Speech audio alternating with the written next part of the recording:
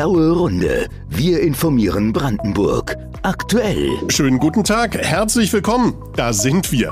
Endlich wieder. Hier ist eine neue blaue Runde. Hier ist der Podcast aus der AfD-Fraktion Brandenburg. Und ja, wir haben durchaus eine Pause gemacht. Eine durchaus lange Pause. Und das haben wir gemerkt. Viele von Ihnen haben sich bei uns gemeldet und haben gesagt, wann geht's denn endlich wieder los? Nun, jetzt haben Sie es. Heute geht's wieder los mit einer neuen blauen Runde. Die Gründe für die Pause liegen auf der Hand. Es gab zwischendurch Wahlen zum Brandenburger Landtag. Es gab davor einen sehr engagierten Wahlkampf, in dem wir uns als Fraktion nur so ein bisschen zurückhalten müssen und deswegen auch keine Podcasts produziert haben. Nun sind die Wahlen vorbei, wie sie gelaufen sind. Das haben Sie alle mitbekommen. Es gibt eine neue AfD-Fraktion. Es gibt eine noch größere. Es gibt eine noch stärkere AfD-Fraktion. Und was die in den nächsten Jahren dieser Legislatur alles tun wird, das werden wir als Blaue Runde, als Podcast aus dem Brandenburger Landtag natürlich begleiten. Wir gucken allerdings in dieser ersten Ausgabe noch mal ein bisschen zurück und zwar in Zeiten mitten im Wahlkampf, Anfang September. Da gab es eine Geschichte, die haben Sie alle mitbekommen, denn sie war fast überall in Deutschland in allen Medien eine relativ absurde Situation. In Wittenberge, in der Prignitz, im Gymnasium, da sollten erst Wähler aufgeklärt werden über das, was die Politiker die Direktkandidaten, die in ihrem Wahlkreis antreten, was die so vorhaben. Und das wurden alle Parteien an die Schule eingeladen, eine allerdings nicht. Und das war unsere, das war die AfD. Und die wurde in der ganzen Veranstaltung von einem CDU-Politiker, der im Nebenberuf wohl noch Sozialarbeiter ist, nachgespielt. Das hatte ein mediales Nachspiel in erster Linie. Es haben, ich habe es gesagt, viele darüber berichtet, unter anderem auch das Fernsehen der Welt. Dass die CDU die AfD imitiert, ist eigentlich ein Vorwurf politischer Gegner. Aber am Marie-Curie-Gymnasium im brandenburgischen Wittenberge ist es jetzt genau dazu gekommen. Kurz vor den Landtagswahlen sollten Ersthelfer dort auf die Direktkandidaten treffen. Aber der Schulleiter sieht die AfD Brandenburg unter ihrem Vorsitzenden René Springer nicht als demokratisch an und lud sie daher nicht ein. Und dann wurde es skurril. Stattdessen wurde ein Sozialarbeiter eingesetzt, der die AfD-Positionen vertreten soll soll. Der aber ist CDU-Politiker und trat erst im Juni selbst zur Wahl als Bürgermeister von Lebus an. Das korrigieren wir nochmal in Lebus, aber ansonsten hat die Kollegin von der Welt da durchaus recht. Sie bezeichnet die Situation als skurril, aber das ist ja viel mehr als skurril und darüber wollen wir reden mit dem parlamentarischen Geschäftsführer der alten und der neuen AfD-Fraktion im Landtag Brandenburg, mit Dennis Hohloch, den ich herzlich begrüße. Hallo Dennis. Hallo Detlef, einen wunderschönen guten Tag. Schön, dass es jetzt wieder losgeht. Ja, ich freue mich auch. Dennis, skurril äh, trifft's ein bisschen, aber äh, trifft noch längst nicht die, die ganze Bandbreite, das ganze Ausmaß dieses Vorfalls, oder? Nein, nicht wirklich. Obwohl man sich, das hätte nicht ausmalen können, dass sowas jemals passiert. Also das ist etwas, was man sich vorher kaum hätte ausmalen können, dass man so kreativ wird, dass man mittlerweile Schauspieler in die Schule schickt, um die AfD-Repräsentanten äh, oder Kandidaten zu stellen. Ähm, also ich hätte mir das jedenfalls nicht ausdenken können, diesen Schildbürgerstreich. Nun hat die AfD im Wahlkampf das breit kritisiert und auch medial durchaus verbreitet. Es hat ein, ja, sag ich mal, einen kurzen Aufschrei in Brandenburg gegeben. Ähm, das wurde alles natürlich vom laufenden Wahlkampf irgendwann überdeckt, aber es hat ja ein Nachspiel gegeben und dieses Nachspiel hat einen ganz aktuellen Bezug. Der Landesverband der AfD Brandenburg hat sich den Schulleiter vorgenommen, der diese ganze Veranstaltung eingerührt hatte. Übrigens, das sei erwähnt, auch CDU-Mitglied, auch CDU-Funktionär, sitzt im äh, Prignitzer Kreisvorstand der CDU, wollte selber mal für die CDU Landrat werden. Gegen den äh, hat dann eine Dienstaufsichtsbeschwerde gegeben und da liegt jetzt kein Urteil, aber eine Einschätzung des Ministers vor. Teil die mit uns, Dennis. Ja, also es ist ja schon erstaunlich, dass sowas überhaupt passiert. Und jeder normale Mensch dort draußen würde von sich aus ja sagen, dass das unrechtmäßig ist. Also, dass jemand kommt als Schauspieler, dann noch Mitglied einer anderen Partei ist und äh, dann diese Partei dort vor den Schülern spielt. Das klingt ja nach wirklich billigster Propaganda. Ich glaube, äh, in der DDR hätte man das nicht mal so billig hingekriegt. Also da hätte man das gar nicht gemacht. Und wir haben die Dienstaufsichtsbeschwerde deswegen eingereicht gegen den Direktor, der ja, wie gesagt, auch der CDU-Mitglied ist, wie du ja gerade mitgeteilt hast. Und der ähm, Minister von der SPD, der Herr Freiberg, hatte jetzt die Chance, das Ganze mal zu bewerten und äh, mal Farbe zu bekennen. Ob er so eine miese Tour, die dort gefahren wurde, unterstützt ob er denkt, dass das richtig ist oder ob man hier nicht mal hätte dienstrechtlich gegen den jeweiligen Direktor heute vorgehen müssen. Und die Antwort haben wir jetzt die Woche bekommen. Und die hat es in sich. Es gibt für diese Regelung eine, ähm, eine VV-Schulbetrieb, nennt sich das. Das ist äh, eine Verwaltungsvereinbarung, die regelt, wie ähm, Außenstehende in den Schulbetrieb integriert werden können. Also wenn zum Beispiel eine Podiumsdiskussion durchgeführt wird und dort werden Leute von extern eingeladen, worauf man da achten muss. Und da sind zwei Absätze sehr interessant, Absatz 3 und 4. In Absatz 3 wird geregelt, dass auf eine Ausgewogenheit nicht verzichtet werden darf. Das mhm. heißt, wenn es Vertreter zu bestimmten Themen gibt, die eingeladen werden, dann muss dort die Ausgewogenheit der Meinungen gewahrt sein. Und äh, im nächsten Absatz äh, bezieht sich das Gleiche nochmal explizit auf die Wahlzeit. Das heißt, äh, wenn es, äh, da steht glaube ich sogar genau drin, dass es um die EU-Wahl oder Landtags- oder Bundestagswahl geht, dass die jeweiligen Kandidaten selbstverständlich eingeladen werden können und dass hier auch das Prinzip der Ausgewogenheit gilt. Und die Aufgabe des Ministers war es jetzt einfach nur zu bewerten, ob das ausgewogen ist. Und jeder normale Mensch würde draußen sagen, nein, das war es nicht. Hier wurde ein Fehler gemacht. Dieser Fehler ähm, muss anerkannt werden und es muss eine Schlussfolgerung daraus gezogen werden. Aber die Antwort des Ministers war, es lief alles in Ordnung. Die Ausgewogenheit war vorhanden. Und äh, das muss man sich mal auf der Zunge zergehen lassen. Das ist, dass hier ein Minister, der selbst nach so einem Vorfall nicht über seinen eigenen Schatten springen kann, jetzt noch sagt, dass das, was da passiert ist, in Ordnung ist. Und äh, da sagen wir ganz klar, also das ist äh, für uns nicht akzeptabel und das muss Konsequenzen haben. Und das hat ja mehrere Konsequenzen. Zum einen, dass in Lebus jetzt ein Abwahlantrag von zwei verschiedenen Fraktionen eingereicht wurde. Ich glaube, du korrigier mich, du bist ja in Lebus in der Stadtverordnetenversammlung für morgen.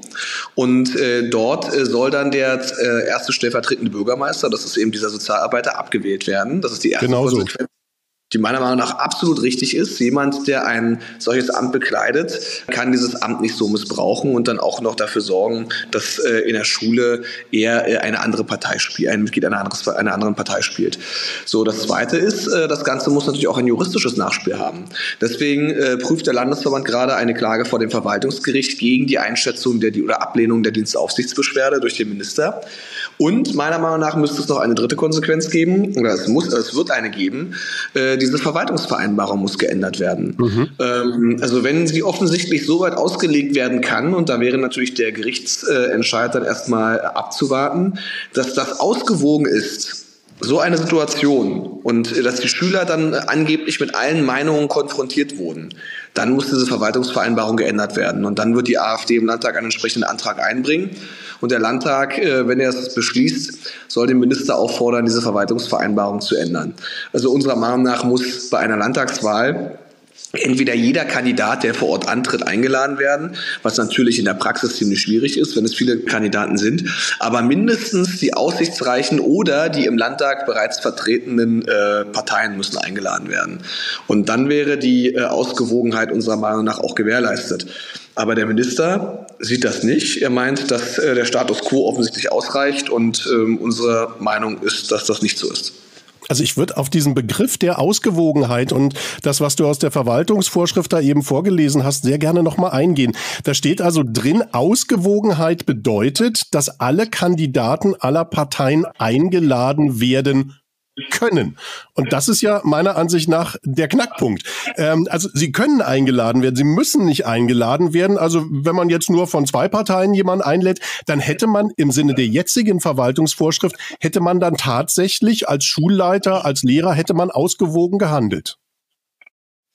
Naja, es ist ja ein Unterschied, äh, das ist ja das Problem an dieser Verwaltungsvorschrift. Natürlich steht dort, es können Abgeordnete oder Vertreter dieser Parteien und Wählergemeinschaften eingeladen werden, aber es muss äh, eine notwendige Ausgewogenheit vorhanden sein.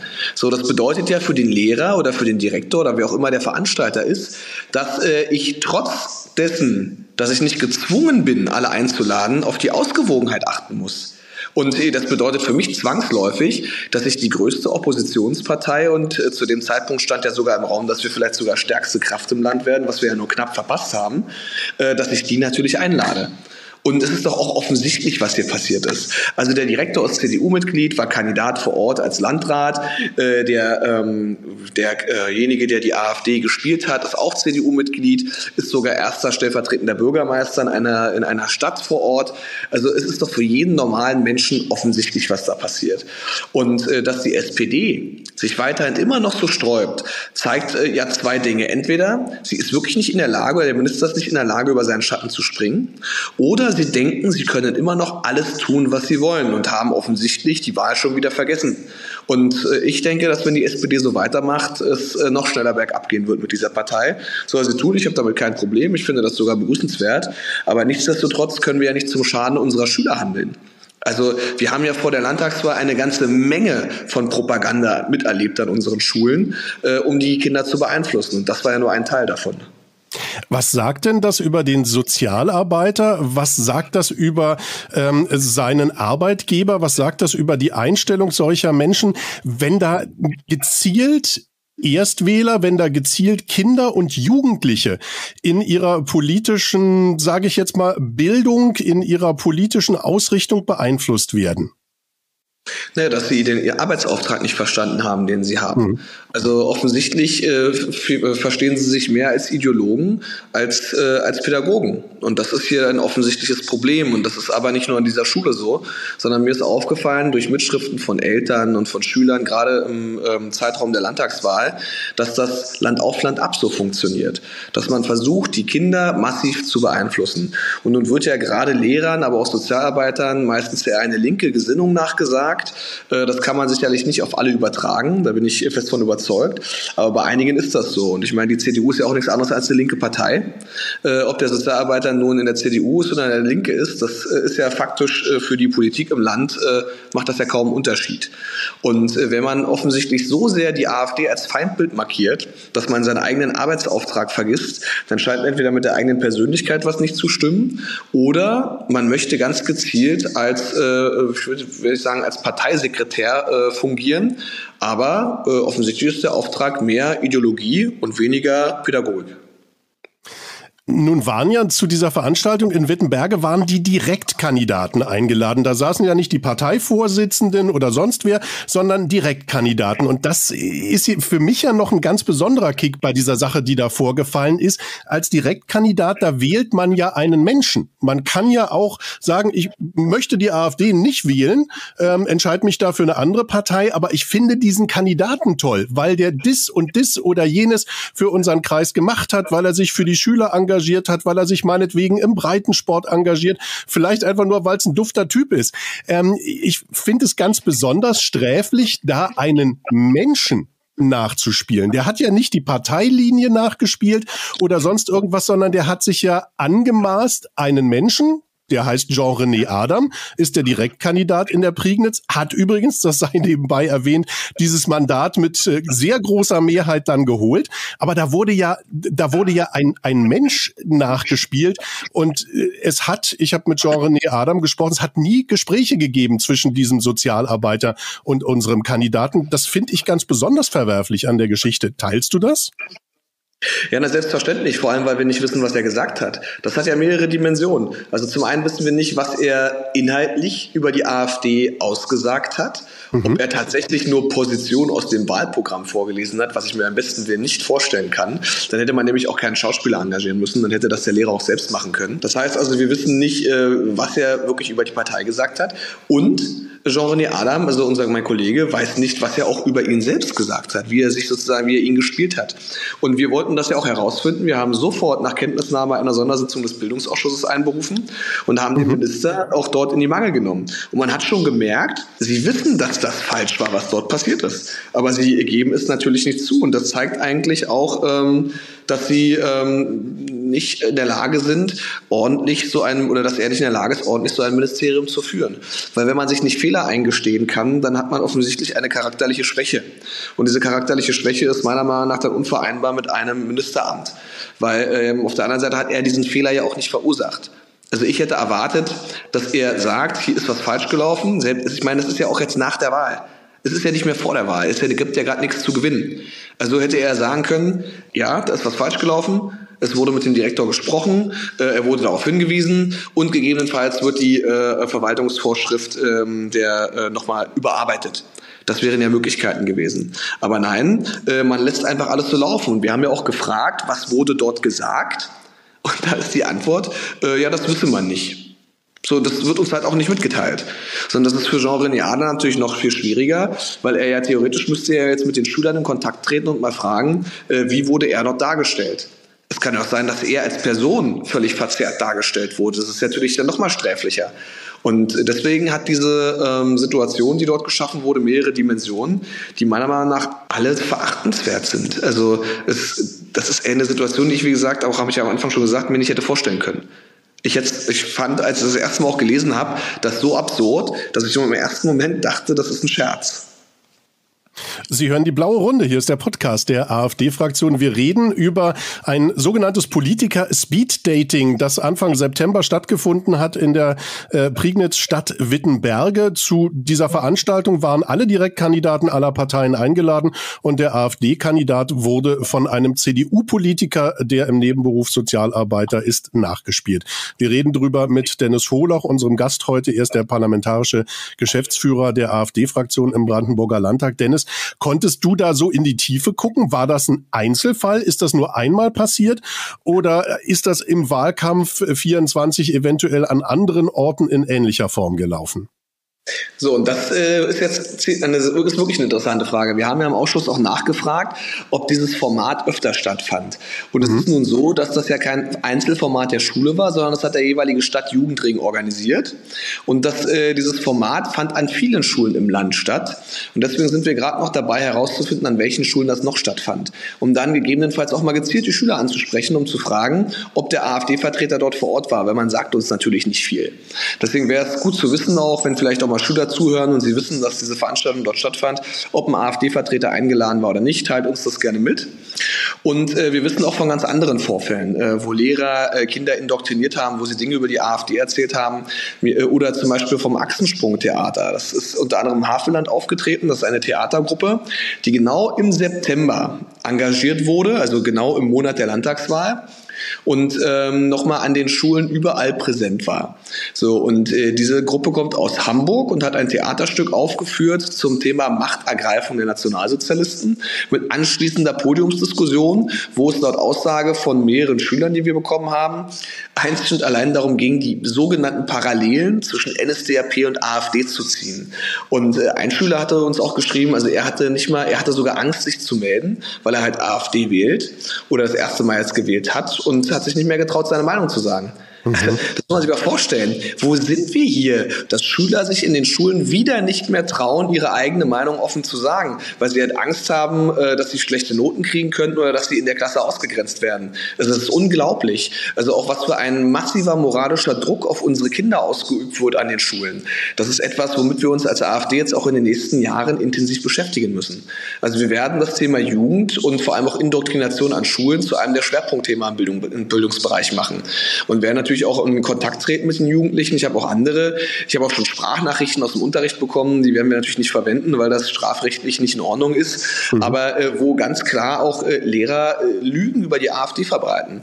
Oder äh, einer hat mir letztens geschrieben äh, über die über Mail hier, äh, dass der Lehrer, und da werden wir jetzt auch mal nachfragen, weil wir wissen, welche Schule und Klasse das war und das nochmal als kleine Anfrage einreichen, dass die Lehrerin erzählt hat, wenn die AfD an die Macht kommt, dann darf man sich, darf man die Kinder in den Schulen wieder schlagen sagen.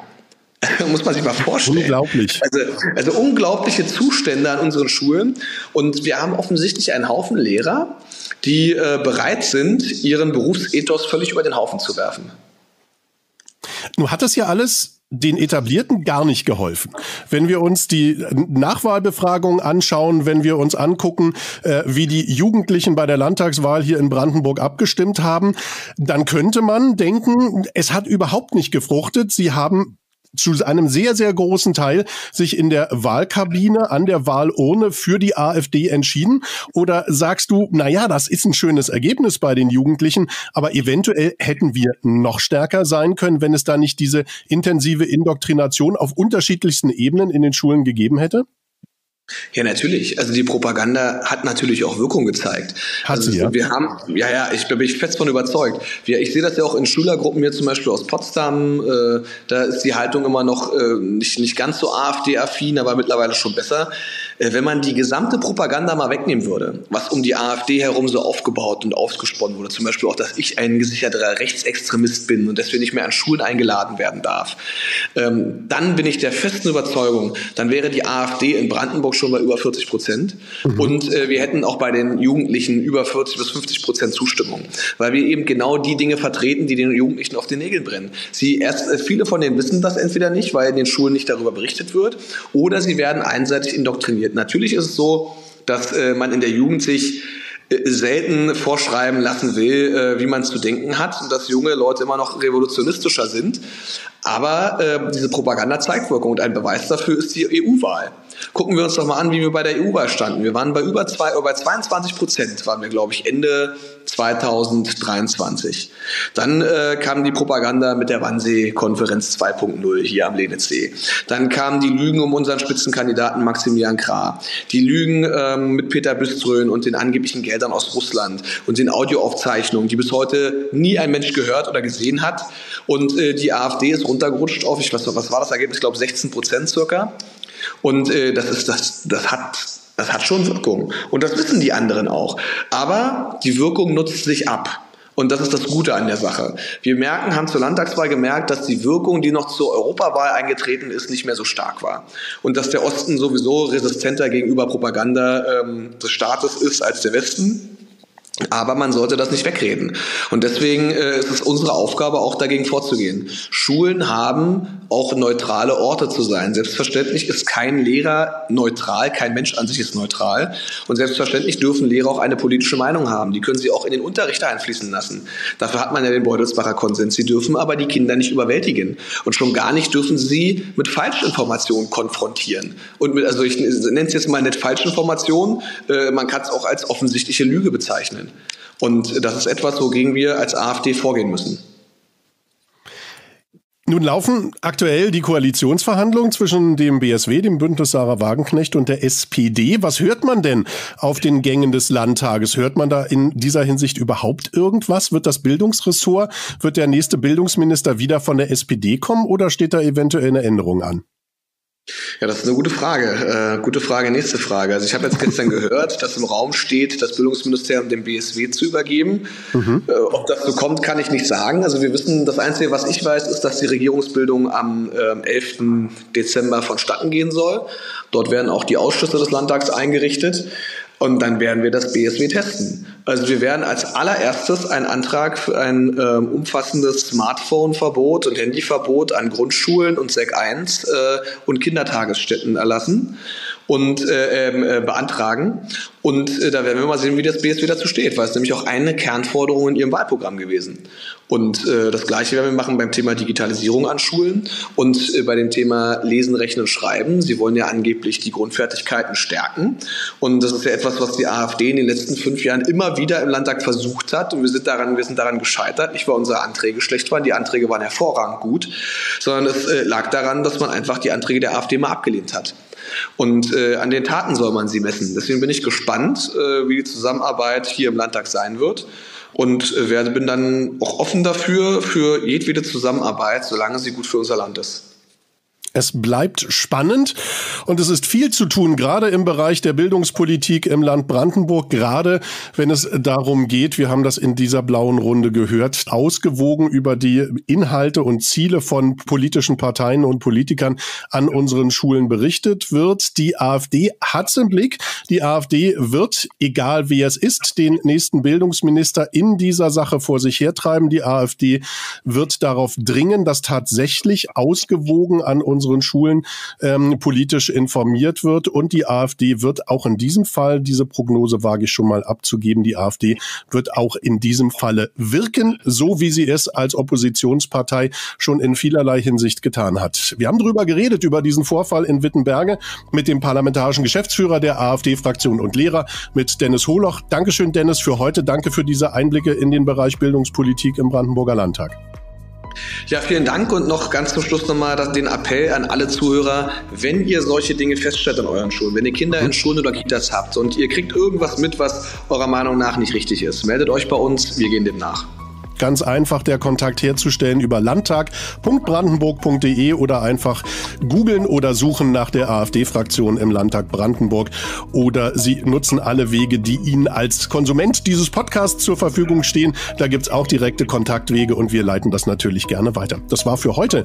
Nach langer Pause wieder eine blaue Runde. Ich verspreche, wir kommen jetzt sehr viel öfter zu Ihnen. Ich bin Detlef Rie. Danke für heute, für Ihr Interesse und freue mich sehr, wenn Sie mit dabei sind bei der nächsten blauen Runde hier aus dem Landtag Brandenburg. Danke. Dankeschön und tschüss. Die blaue Runde. Wir informieren Brandenburg. Aktuell.